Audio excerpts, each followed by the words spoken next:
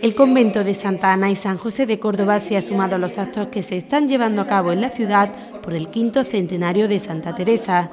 Lo hizo con la celebración de un recital poético y lírico a cargo de la periodista Paloma Gómez Borrero.